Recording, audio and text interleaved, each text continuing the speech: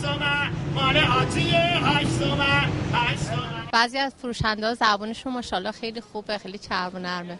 آدم مشتری رو جذب می‌کنن. بعضیا با اخلاق خوبشون. چقدر نوشته های روی یه جنس براتون مهمه تبلیغاتی که در موردشون شده. خب مهم هستش ولی به عقل خودم باز رجوع می‌کنم. به هر حال مثلا میگه چرم جنسش فلان زیرش اینجوریه. آیا هست یا نه؟ اگه تا ببینم فروشنده داره دروغ میگه یا تبلیغات علکی می‌کنه میرم نمی‌خوام. تجربیاتی که قبلا داشتم برام اهمیت بیشتری داره. اما تو این شلوغی بازار و تبلیغات رنگارنگ برای خرید و فروش کالاها بازار دیگه ای تبلیغاتش داغ شده. هشت نفر این روزها با هیجان برنامه هاشون رو تبلیغ می‌کنند نامزدهای یازدهمین دوره ریاست جمهوری. ولی می‌خواهیم نظر مردم رو در مورد تبلیغات این نامزدها جویاشیم که در رأی دادن و انتخاب کردن صاحب تجربه تبلیغاتشون خدا وکیلی هرچی از صاف و صداقت باشن رو کراس باشن. تبلیغاتشون طوری باشه که واقعا بعدا بتونن به اون عمل کنن. طوری نباشه که فقط حرف باشه.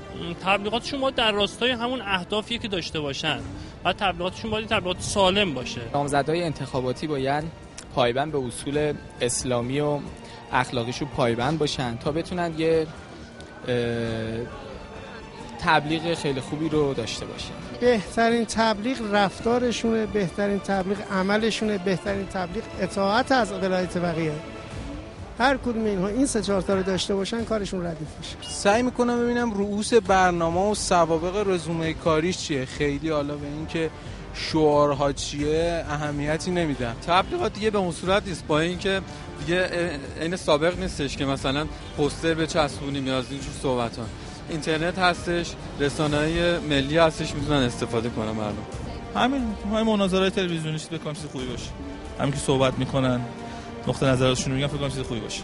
خودشون بیان با مردم مستقیما تماس بگیرن با جلسات با تو مساجد یا تو حسینیه ها بیان خودشون مستقیم با مردم صحبت کنن. حالا بین این همه تبلیغات مردم میمونند و میراث امامی که همه چیز را به عهده خود اونها گذاشته. مردم باید نگاه کنند چه کسی با تبلیغاتش سنگ خودش رو به سینه می‌زنه و چه کسی درد واقعی اونها رو داره. تویی که فعالیت می‌کنی و تبلیغ می‌کنی برای انتخابات تبلیغ خودت را می‌کنی یا تبلیغ برای اسلام می‌کنی؟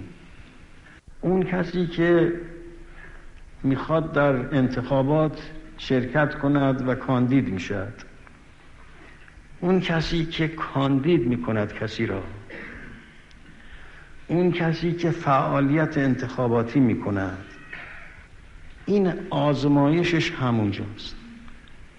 تویی که خودت را کاندید انتخابات کردی قدرت این را داری که برای کشور درست خدمت بکنی؟ و قدرت خودت را بالاتر از دیگران میدانی.